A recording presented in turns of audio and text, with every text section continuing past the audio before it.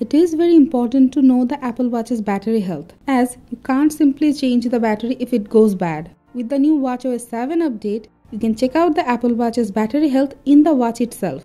Let's check out how you can do it.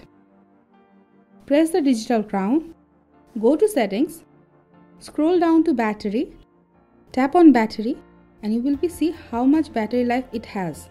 Now scroll down to bottom, you will see battery health, tap on it. You will see the maximum capacity of the Apple Watch. As the Apple Watch Series 6 is brand new, its battery capacity is 100%. But as this Apple Watch 5 is little older, with use, its battery capacity has gone little down. As you can see, its maximum battery capacity is 98%.